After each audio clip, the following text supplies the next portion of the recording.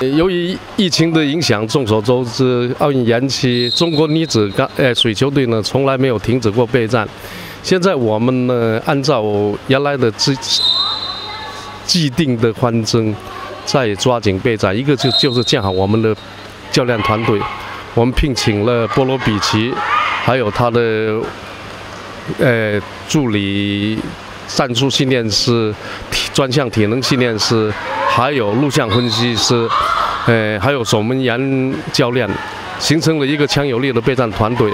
呃，我们还加强了科医的保障，还有调动国内的一切力量，按照国家体育总局的备战大方略，在扎实的开展。从近段时间来看，我们采用了一系一系列的超常规的措施，呃，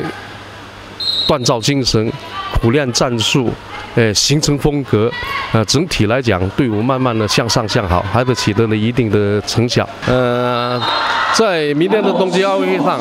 我们呢还就达成了这么一个一个共识，就是以百倍的努力去取得最好的成绩。